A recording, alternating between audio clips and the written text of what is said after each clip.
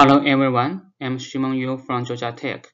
It's my great pleasure to give this IEDM short course presentation on the topic of analog memory needs for AI. We will talk about the multi-level synaptic memory devices and their applications for computing memory hardware accelerators for machine learning.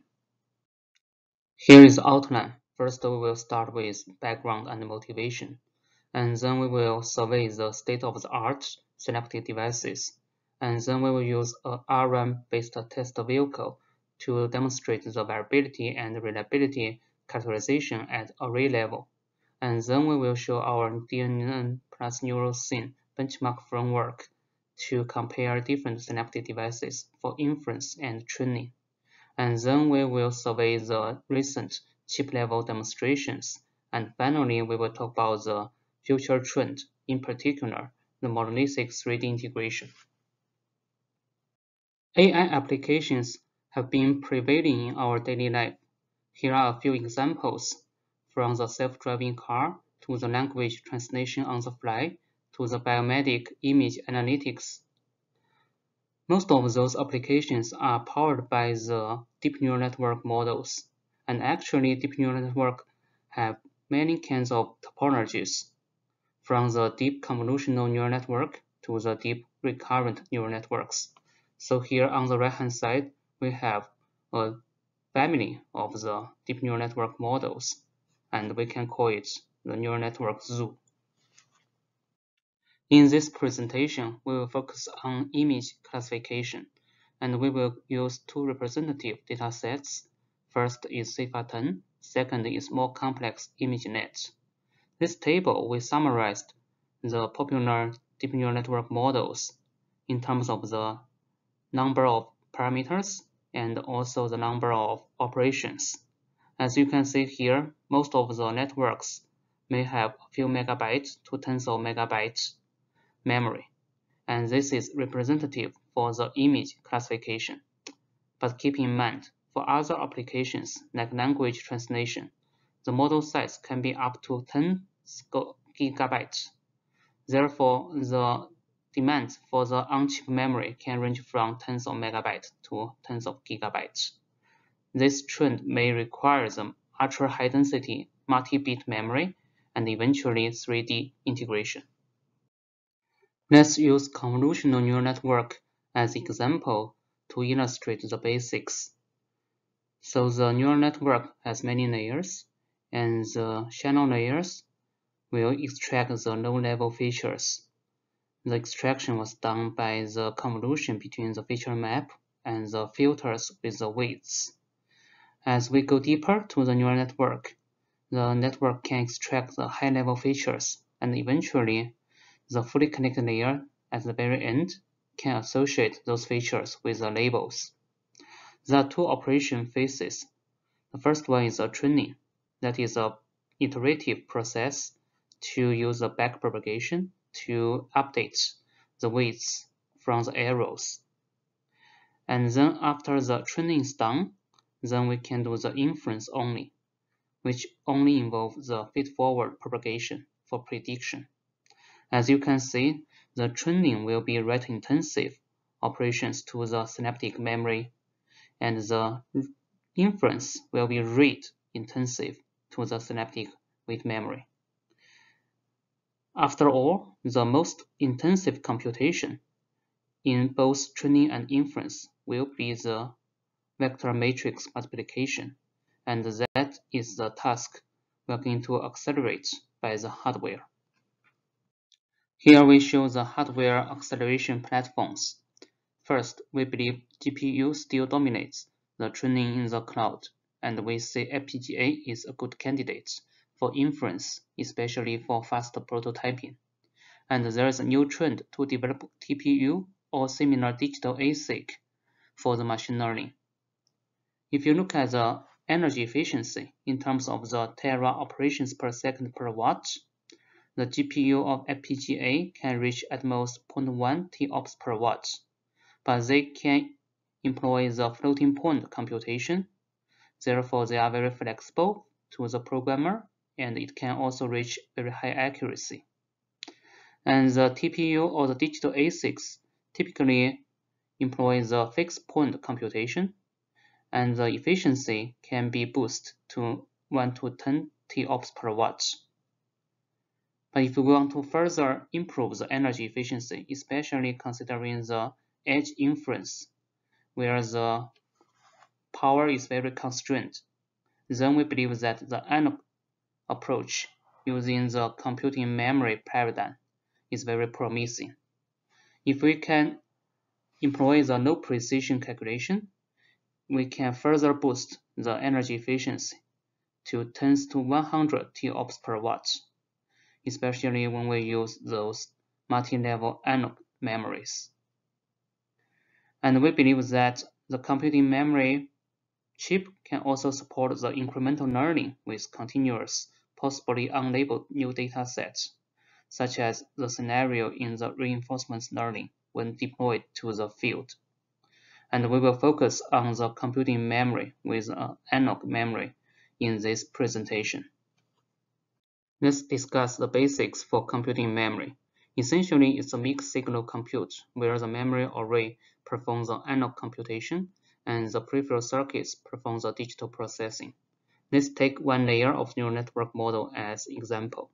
So here the weights are mapped to a memory array's data pattern, and then the inputs are loaded in in parallel to activate multiple word lines so the voltage from the word line will be multiplied by the conductance of the memory. And then we create a current along the bit line, which can naturally sum up multiple cells currents. At the end of the column, we may need the ADC to convert the analog current to the digital output. And sometimes we may need the mux to share the ADC among multiple columns and sometimes we may need the digital shift and add to represent higher precision. For example, if the weight is 8 bits, but the memory array with only 4 bits per cell, then we may need two cells to do the shift and add and create the 8 bit weight. In terms of the memory cell, it can be either 6T SRAM or even 8T SRAM, and then we can also have the 1T1R, one transistor, one resistor implementation with the multi-level memories, which can be these resistive elements. Before we talk about the analog multi-level memory, we should keep in mind that the baseline for the comparison should be the SRAM-based computing memory, which is available at the advanced technology node today. And here we show one example of the 8T decoupled SRAM to do the computing memory. So here the data pattern at the storage node Q will determine whether we will have the discharge current from the bit line. And uh, when we turn on multiple word line, then depending on the data pattern, then we may have the discharge current or we may not have the discharge current from the bit line. So when we sum up the bitline current, it will naturally represent the bitwise multiply and accumulate operations. So in this year's ISSCC, TSMC demonstrated a 7nm SRAM-based computing memory macro with very impressive energy efficiency. So here I have to emphasize that the energy efficiency should be normalized to the same weight precision and activation precision so in this presentation, we will use 8-bit weight and 8-bit activation precision for the MAC operation. If we normalize the number from the table in this paper to the 8-bit by 8-bit MAC, it should be around 88 TOPS per watt. In this slide, we're going to have a high-level comparison between the TPU-like digital accelerator versus near memory compute accelerator versus in-memory compute accelerator. So in the TPU-like digital accelerator, there are many PEs, processing elements, implemented by the digital multipliers and adders. So in this case, both activation and weights are fetched from the global buffer. There are many on-chip data movements associated with both activation and weights. While in the near memory compute or the in-memory compute, the weights are stationary. We only move the inputs and outputs activations around on chip. The difference here is that for the near memory compute, we are going to enable the memory array row by row sequentially. And we're going to use a digital accumulators to sum up the partial sum. While in the in-memory compute, we are going to activate multiple rows simultaneously, and we are going to use ADC to quantize the partial sum. As you can see, both the TPU-like accelerator or the near memory accelerator, they are digital processing, while the in-memory compute accelerator is mixed signal compute, essentially. Therefore, there is a suspect that the in-memory compute may suffer from the noise and vibrations. Therefore, their computation accuracy may be degraded. We are going to discuss this in more details later. Now let's survey the synaptic devices. Fundamentally, we get inspirations from biology and neuron science to develop the semiconductor devices to emulate the synapses and the neurons.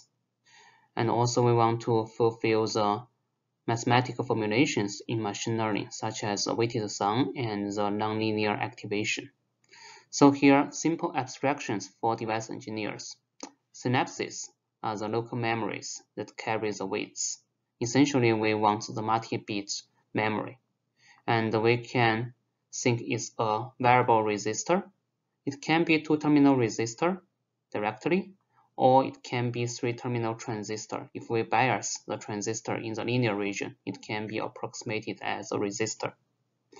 And the neurons are simple thresholding compute units, and we believe the threshold switches are good candidates, which has the abrupt switching in its IV characteristics, and it will return to off state at zero voltage. Therefore, it's not a memory, but it's a switch. Here is a landscape of the analog multi-bit memories. First, we have the filamentary RRAM based on oxides, and here we can modulate the shape of the oxygen vacancy-based filament to tune the conductance. Second, we may have the non-filamentary RRAM where we modulate the defect density between two regions to tune the conductance. Certainly, we may have the phase change memory where we can fine-tune the amorphous region volume to control the conductance. And finally, we have the ferroelectric field effect transistors where we can modulate the domain configurations in the gate stack to enhance or inhibit the channel inversion. Therefore, we can tune the threshold voltage of the transistor and then we can fine-tune the channel conductance. So here, in principle, the partial switching of these materials leads to the analog multi-bit memory. And we see that RRAM and phase change are more current-driven switching, but the FE-FET is more electric field-driven switching. Therefore, FE-FET has the lowest energy to switch. In this presentation, we are not going to focus on the STT or SOT-MRAM as they are binary synapse in principle. And also, we are not going to discuss about the EC-RAM, electrical chemical random access memory, because it's premature. Before we dive into individual device candidates, we like to first discuss the key device properties desired for training. So here we identify the Symmetry and linearity in the weight update as the most critical property that will affect the training accuracy. Ideally, we want the device conductance to be tuned in this linear and symmetric fashion under the identical pulse train. So we can potentiate the device conductance linearly and depress the conductance linearly. So the potentiation and depression can be symmetric and here we may require larger than 6 bits precision for the in situ training. But in the literature, many of the reported devices suffer from the nonlinearity and asymmetry in the weight updates. So here we show a behavior model for the normalized conductance versus the number of pulses. So here we label the nonlinearity level from 0 to 6.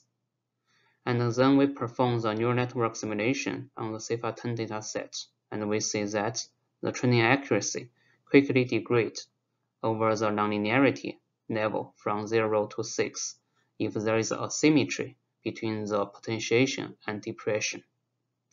Fortunately, there are some recent work using the algorithm level techniques such as momentum to compensate for the accuracy loss. If you are interested, you are encouraged to refer to this uh, paper listed in the reference of this presentation later. Then let's talk about the key device property that matter for inference. So after the training, the weights should be stable over time for the inference, as the inference is read-only operations. But there are many non-ideal device effects that may affect the reliability for the inference. Those effects include the relaxation after the initial programming. The conductance may drift, and also those drift may be accelerated under the rate stress and the retention at higher temperature is also a problematic issue. And then the intermediate state reliability is still the key concern. So here we show a generic drift schemes for the conductance as they drift to the maximum, drift to the minimum, drift to the middle, or they randomly drift. And here we perform a neural network simulation on the CIFAR 10 inference accuracy over time considering those different modes of the drift. And we see that the random drift can be most robust to the degradation of the accuracy, probably because those drifts compensate each other. Now let's dive into individual synaptic device in details. First, multi-bit RRAM the key idea to enable multi-bit operations in the oxide RRAM is to create multiple weak filaments instead of a single strong filament, as demonstrated by this group, by engineering the capping layer on top of the hafnium oxide, for example, tantalum oxide. It can reach hundreds of multi-level states with a symmetric and linear potentiation and depression. As you can see here, the variations are still large. But with the write and verify technique, it can tighten the distribution for at least 32 levels that represent 5-bit weights, as shown in this distribution. Second, multi-bit phase change memory.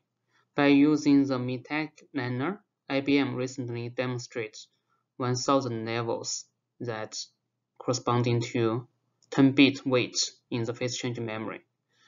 And also this confined phase change memory structure also show good retention and endurance. One possible caveat here is that the dynamic range in the tuning is actually quite limited. And also the reset of the phase change memory is abrupt, so you can only potentiate the conductance during the gradual set. Therefore, for the bidirectional tuning, we need to have two transistor, two resistor as one weight cell to do the differential readout. But by this technique, we can achieve quite symmetric and linear weight updates with two cells as one weight. RRAM and phase change memory are still emerging memories, but don't forget about the mature technology such as the floating gate transistor or the charge trap transistor. Here UCSB's team has demonstrated down to 50 nanometer low E-flash based synaptic array with the split gates device structure. And also UCLA's team recently demonstrated the charge trap transistor based weight cell using the Global Foundries 22 nanometer FDSOI platform. So here in general, the eFlash or the CTT-based solution has wide range for the current tuning. And the write verify is typically used to fine-tune the current. but it should be pointed out that the write operation is pretty slow for those charge trap or the floating gate transistors. Therefore, this is good for the inference only, but not suitable for the training. As mentioned earlier, some of the language translation model may require gigabyte level memory, and we believe the 3D NAND is only ultra-high density memory architecture. And there are recent proposals to modify the peripheral circuits of the 3D NAND to enable the computing memory. So for example here, our group has proposed to use the SSL select nums as input, and then we can do the layer by layer in-memory compute in the 3D NAND using the bitline as output. And also the Macronix has proposed using the bitnum as input and then perform the layer by layer computation with the source num as output. Of course, there may be a need for the heterogeneous integration of the 3D NAND with the peripheral logic circuits by the stacking as a 3D NAND fabrication process is not compatible with the advanced logic process. FEFET is also a three-terminal synaptic device relying on the threshold voltage modulation to tune the channel conductance at a given fixed gate voltage. Compared to the flash, FEFET has more interesting attributes. For example, much faster programming speed, down to tens of nanoseconds, and much smaller programming voltage, down to 1.8 volts. And also compared to the other emerging non-volatile memories, such as RRAM and phase-change memory, FEFET has the lowest switching energy, down to femtojoule per bit, due to its electric field-driven mechanism. And recently, the doped hafnium oxide-based ferroelectric materials such as HZO have been drawing great attentions in the IEDM community. And here in this slide, we show some of the results from Professor Suman Datta's group, showing the multi-level capability of the in situ training as well as the distributions for the 2-bit inference. Our recent research identified a challenge for the ferroelectric partial switching, that is a history effect, which states that the intermediate state switching not only depends on the current state, but also depends on the prior history that the device has gone through. For example, here we can see the polarization versus the voltage hysteresis. And we can consider a smaller loop, the red one. So we can start from the S0 state and then ramp up the voltage to the S2 state and then we sweep the negative voltage down to S1 state.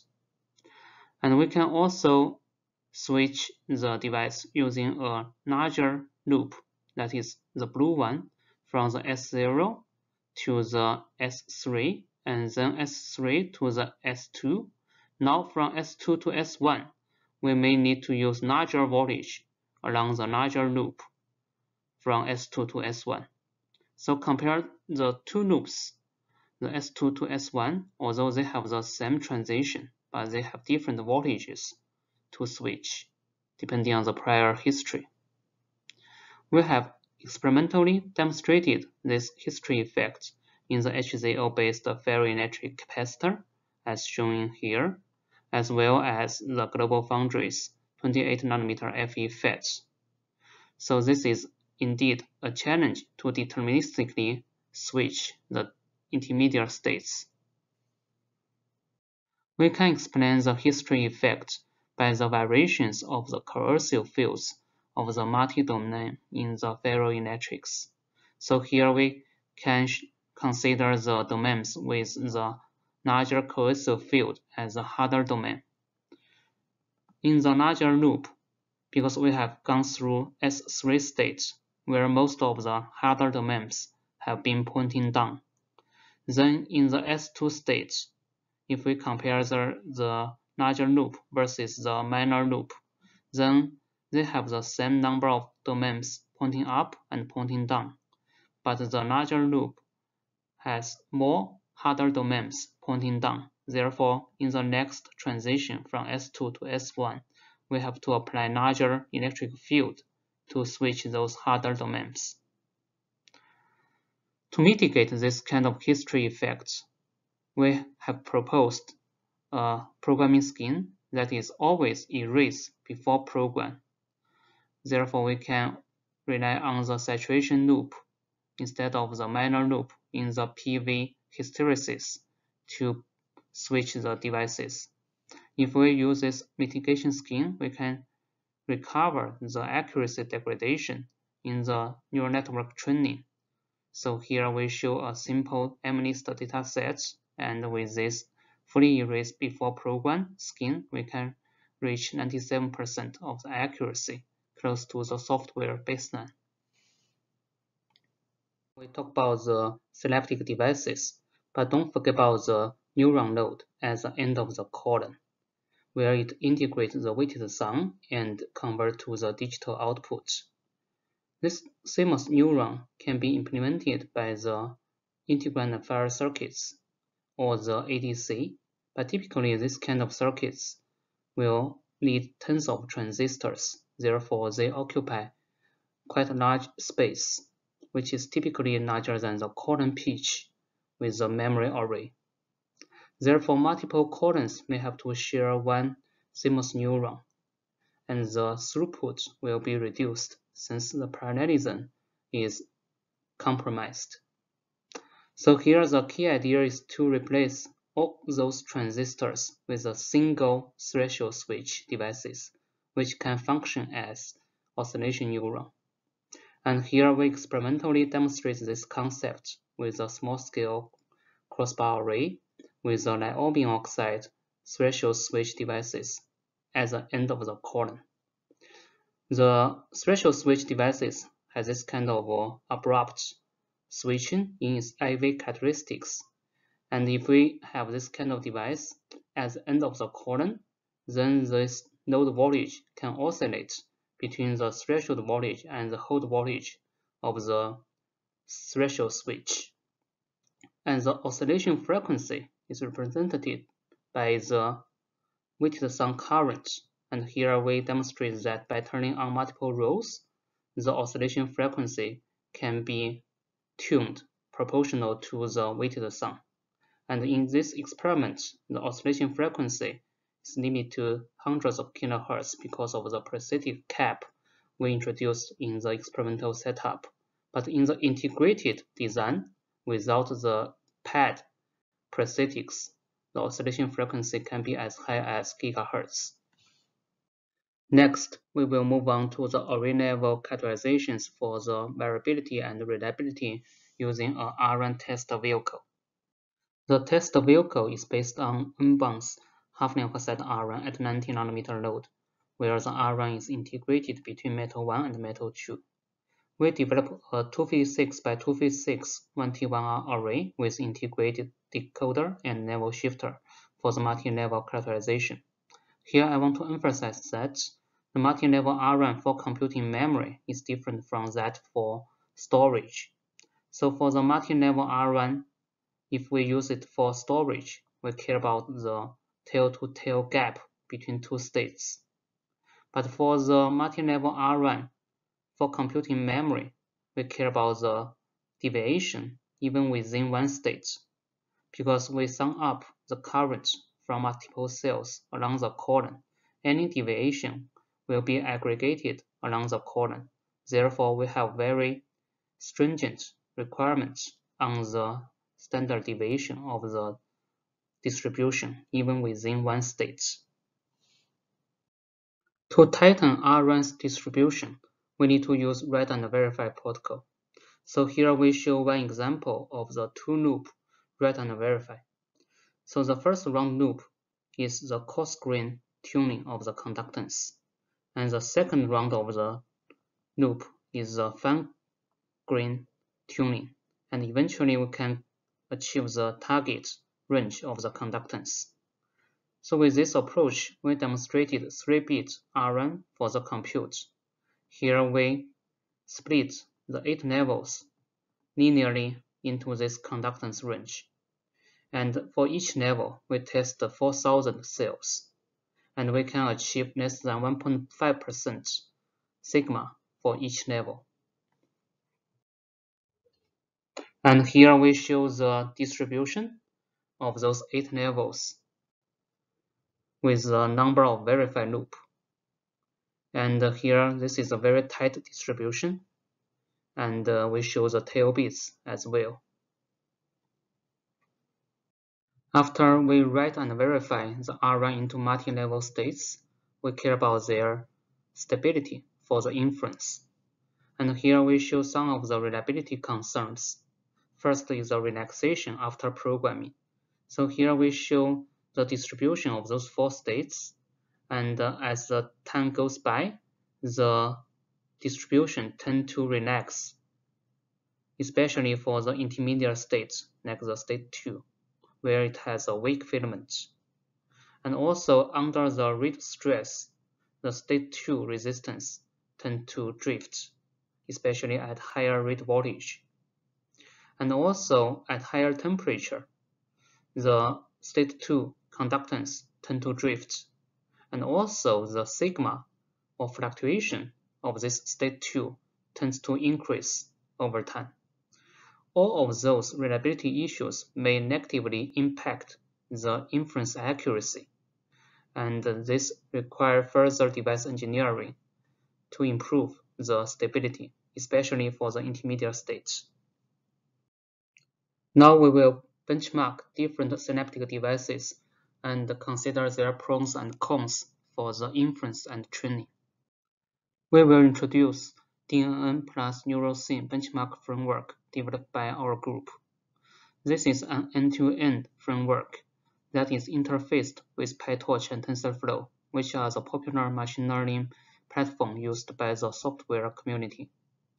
The NeuroSim core itself is a circuit model that is built upon a hierarchy of chip tile PE subarray with all the necessary peripheral circuitry. And we calibrate the technology parameters with the PTM model from 130 nanometer down to 7 nanometer. And the NeuroSim core can report the energy efficiency, throughput, area, and memory utilization. And then from the Python wrapper, we can define arbitrary deep neural network model and report the inference or the training accuracy under the hardware constraints. And here we show the GitHub link for the latest version for inference and training respectively. So this tool is open sourced and we have an active community with more than 100 users including researchers from industry such as Intel, TSMC, Samsung, and SK Hynix. This slide shows the key features of the framework. The Python wrapper can define the neural network model, and then we consider the non-ideal device effects that may affect the training or the inference accuracy. For example, during the backpropagation stage, we can consider the nonlinearity and asymmetry in the weight updates as discussed earlier. And also we can consider the device-to-device -device variation, cycle-to-cycle -cycle variations. In the feed-forward stage, we can consider the conductance drift and also the ADC quantization effects into the inference accuracy estimation. And then from the Python wrapper, we are going to transfer the network structure to the NeuroSim core to automatically define the chip floor plan. And also we're going to unroll the real traces such as the activations and kernels into the input vector and weight matrix that are mapped to the memory arrays. And then we're going to conduct the hierarchical simulations to generate the hardware performance using this kind of hierarchy. Here we show more details about the methodologies.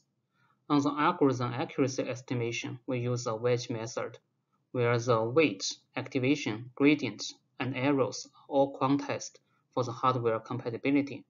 And also we introduce the partial sum quantization based on the ADC precision. We can support various neural network model for CIFAR 10, 100, and ImageNet datasets. On the hardware estimation, we mostly use the analytical models that are calibrated with the SPICE at the module level. For the end modules, such as ADC, we directly perform the custom design and run the cadence simulations to generate the report. And then for the digital modules, we estimated with the standard cell area, logic gate delay, dynamic power, as well as leakage power. We also consider the interconnect based on H tree, and we can estimate it, the parasitic RC delay and power as well. So here we show one example of the chip hierarchy. On the chip level, we have multiple tiles and global buffer and the digital modules for the neuron function. And then one tile can compose of multiple PEs with its input and output buffer as well as accumulation of the partial sum from multiple PEs. And then one PE can be composed of multiple synaptic array and its input and output buffers as well as adder tree. So one synaptic array will have its own peripheral circuits as shown in this right-hand side figure. First, with this framework, we will analyze the ADC precision's impact, as it is important to make sure the partial sum quantization from one array will not lose the information. So here we show the inference accuracy for CIFAR10 datasets, and we sweep the device precision from 1 bit to 4 bit per cell, and then we sweep the synaptic array size from 64 by 64 up to 256 by 256. And also we consider the ADC precision from 3 bit to 5 bits. And we can see that in most cases, we need to use 5 bit ADC to ensure no significant drop of the accuracy. And here, the 5 bit ADC actually can tolerate up to 7 bits information loss. Why is that? If we consider the 256 rows, it represents 8 bits in full precision, plus 4 bits per cell. In total, we have 12 bits information, but we can use 5 bit ADC for the quantization. This is reasonable for the CIFAR10 dataset, but as we go to larger datasets such as ImageNet, we found out that we may need to use up to 8-bit ADC. So in that case, the ADC will be very expensive, and we may have to use a SAR ADC to trade off the throughput versus the area and power. Now we can show the benchmark results for computing memory inference on CIFAR10 dataset. First, we extract the device parameters from the literature and project those non-volatile memories are integrated at 22 nanometer node, considering their latest industry availability. So here we can show that the emerging non-volatile memories generally outperform the SRAM as the same technology node in terms of the energy efficiency. And to achieve the best energy efficiency, we need to improve the on-state resistance above 100 kilo and in this sense, FE-FET is most promising because its on-state resistance can be modulated by the gate bias. And also we need to consider the latest CMOS technology, for example, the 7 nanometer SRAM, can also achieve reasonably good energy efficiency and also the best compute efficiency. This is because the area scaling advantage Therefore, this motivated us to further scale down the non-volatile memory to more advanced technology node if we can reduce the program voltage for those memories. As mentioned earlier, it is challenging to directly use non-volatile memory for in situ training due to the nonlinearity and asymmetry in the weight update. So here is an alternative design based on the hybrid synapse, where the non-volatile memory only stores the most significant bits, and the volatile capacitor will store the least significant bits, where the updates mostly happen in the LSBs.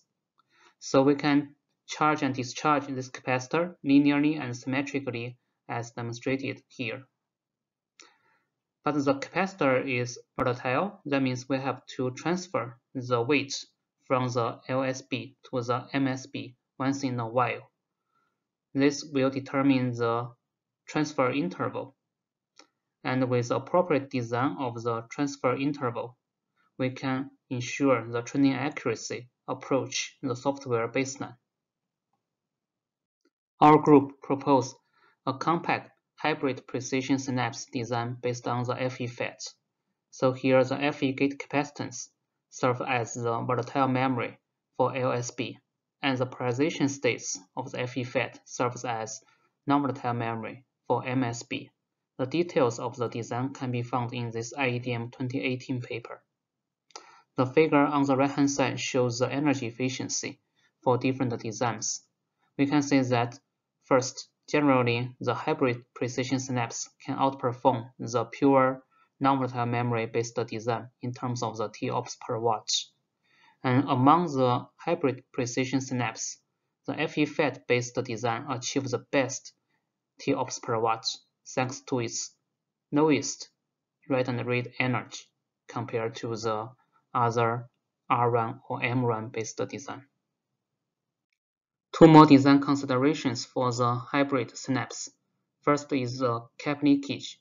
We need to make sure the leakage current through the access transistor below 10 femtoen to ensure the retention time above milliseconds and no training accuracy loss. This requires the DRAM-like transistor, and we believe that oxide channel transistor is a good candidate with ultra-low leakage and it can also provide large program voltage to write the non-volatile memory.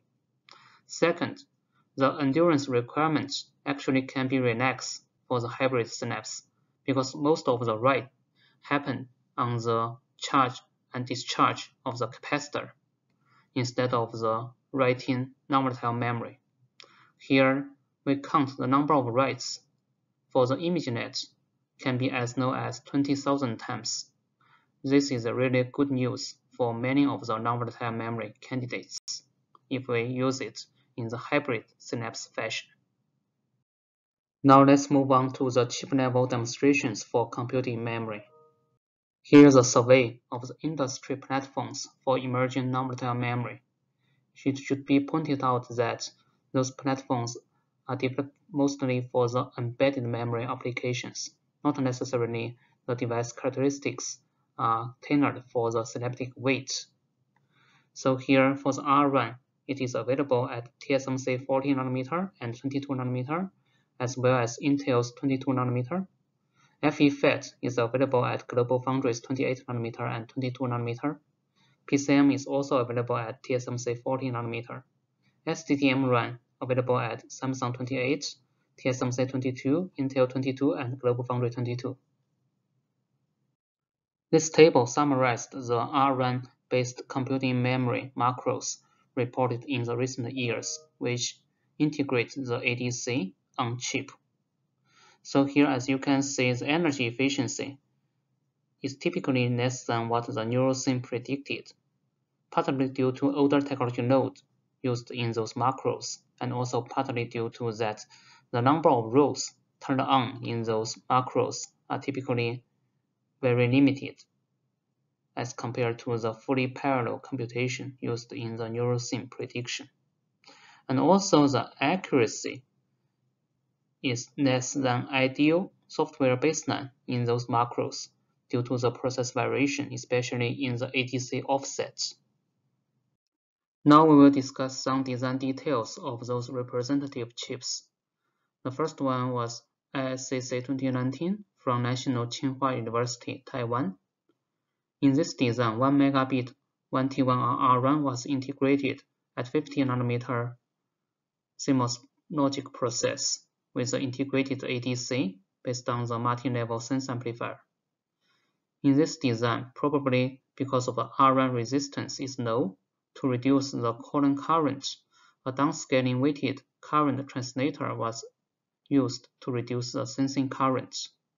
As mentioned earlier, the process variation may degrade the inference accuracy, So in this design, uh, a small offset current mode sense amplifier was employed to compensate the accuracy loss. This is an improvement from the same research group presented in ISSCC 2020. This design was integrated at 22 nanometer process with 2 megabit RRAM. New design features such as input-aware multi-bit bitline clamping and two's complement weight mapping was used. With the new design, close to software baseline accuracy was achieved, for example, 90% for CIFAR 10 datasets. Our group recently also designed a prototype chip for the RRAM-based in-memory compute with collaborators from Arizona State University. This design was taped out with the Winbond's 19nm RRAM process, and we have the integrated ADC with the peripheral circuits like the switch matrix MUX and so on. And this chip can enable the both positive and negative weight and also the positive and negative inputs. Therefore, it can perform the XNOR computation. Here are the key features of this chip. Here we use 2T2R weight cell to represent the positive and negative weights, and also we use a complement word line to represent the positive and negative inputs. The truth table shows the effective resistance for the bitwise XNOR computation, where the LRS resistance represents the positive one output and HRS resistance represents the negative one output. Therefore, the combination of the HRS and LRS resistance can form the pull-down network to determine the bitline voltage that is to be sensed by a 3-bit ADC made of the 7 voltage mode sense amplifier. Here we would like to show how we use this test chip to evaluate the inference accuracy. Essentially, we have to perform this mixed software and hardware experiments, where the test chip will perform the MAC operations with the input vector and weight matrix, while the software will perform the neuron activation function and pooling. And we can use this approach to evaluate the impact of the process variation. For example, here if we don't calibrate the references for the ADC, we use a common references for all the ADCs on chip, the inference accuracy will be very bad. But if we can calibrate the references for each individual ADC here, then we can boost the accuracy to 83.5%. But further, if we calibrate each individual sense sensamp reference, we do not see a significant improvement of the accuracy. This suggests that the degradation of the accuracy is mostly caused by the ADC offset instead from the column-to-column cell variations. We will move on to the last topic, monolithic 3D integration. Here are the challenges for the RRAM-based computing memory summarized from our chip design experience. First, today's RRAM typically has no on-state resistance. This requires a large analog mux placed at the edge of the array to deliver the column current. Second, the RRAM programming voltage is typically high that will lead to large cell area as well as poor area efficiency due to the level shifter. Also, the ADC consume a lot of area and also the power. So here we see the breakdown of the power. 80% of the power is consumed by the ADC. And finally, we have the process variation. As mentioned earlier, the ADC offset will introduce the inaccurate partial sum computation. Therefore, eventually, the inference accuracy will be degraded from the software baseline. To address some of the design challenges, we propose monolithic 3D integration for RRAM-based computing memory. This can be also generalized to other non-volatile memories as well. So the key idea is to partition the design into two tiers. The top tier will have the RRAM and its nearest peripheral circuits at the legacy node, for example 40 nanometer, where we can support the high programming voltage for the RRAM.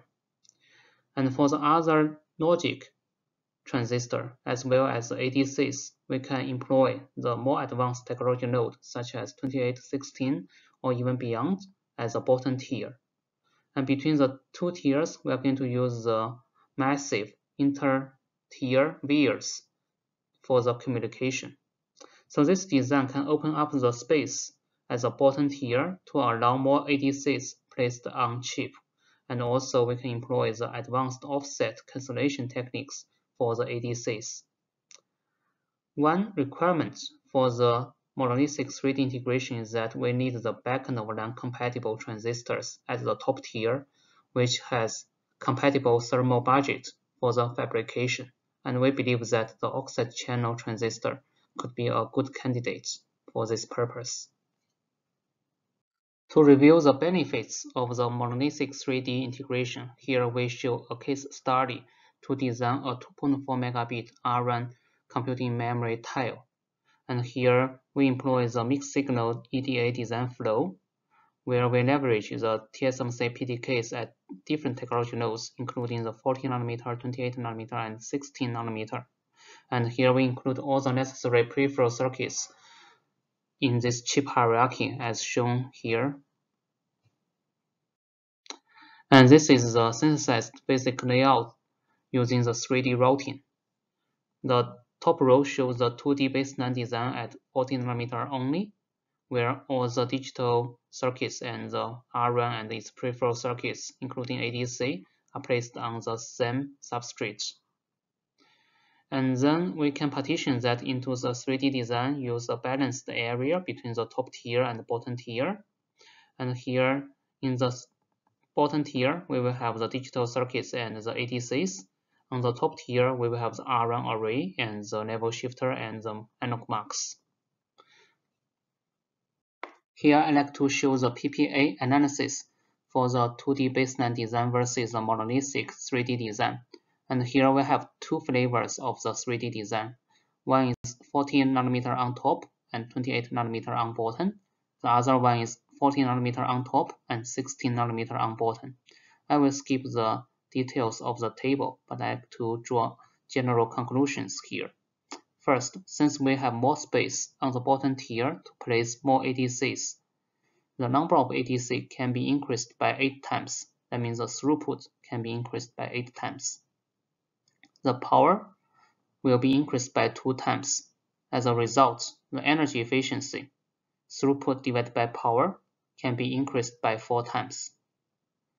At the same time, the chip footprint in the two-dimensional space can be reduced by 50%. Another metric I want to highlight is the inter-tier metal vias density. It's roughly 100 K per millimeter square.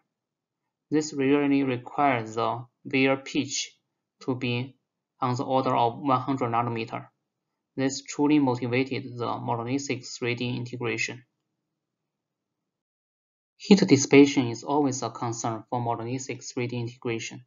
Here we perform the ANSYS simulations to generate the thermal map of our proposed 3D design, and we show a very moderate temperature increase less than 10 degrees C. This is because of the low power density of the computing memory. And here we survey different types of the prototype chips. And uh, generally, they show a very low power density, less than 0.1 watt per millimeter square.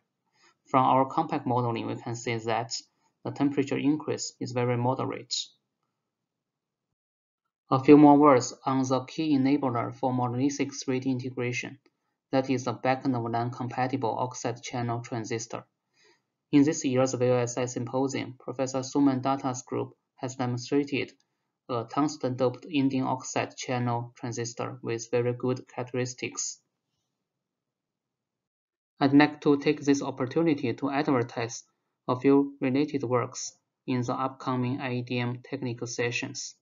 The first one is a 3D NeuroSim benchmark extension from our group.